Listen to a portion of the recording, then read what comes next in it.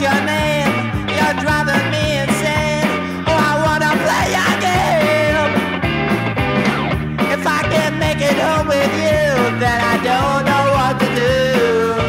Oh, yeah. Would you like to stay with me? Put yourself right on top of me.